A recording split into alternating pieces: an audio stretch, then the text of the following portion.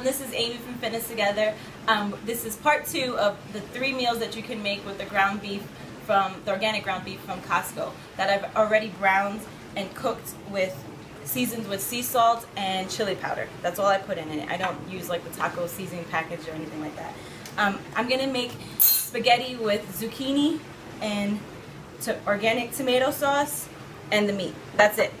So if you haven't seen this contraption before, it is a, called a spiralizer. You can get it on Amazon for less than $30. Um, this particular one is courtesy of Kelly Murphy. She bought it for Ray and I because we lend out our personal one at the gym so that everybody can try a spiralizer to see if they like it. So let me show you how to use it. Um, it has different attachments. I'm using this attachment. This is going to make um, the zucchini look similar to how spaghetti actually looks. So you just put it in there and it's suction cup to the counter. So you just put the zucchini in there. You don't have to peel it unless you're trying to trick your kids. I would peel it so that it doesn't have green. It'll come out looking more like spaghetti. So you just put it in there and you just start spiralizing. And I'm not putting a lot of pressure at all. This isn't hard. I'm not working hard at all. it's really easy. And as you can see, it looks similar to spaghetti. I know it's not spaghetti, but you gotta trick yourself sometimes.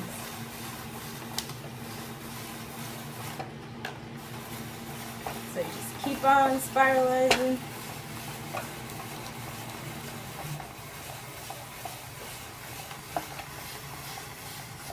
Alright, so that is a lot of spaghetti.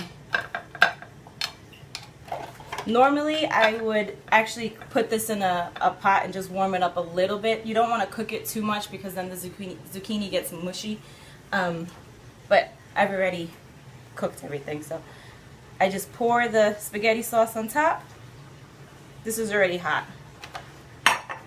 And then I put meat, and you could make it all in one pot, but I'm doing this for purposes of the video. So, there you go. Super quick, easy meal to make. If you already browned the meat, all you would have to do is heat up, uh, slice the zucchini, heat up the tomato sauce, and mix everything together. And that took me less than three minutes. So.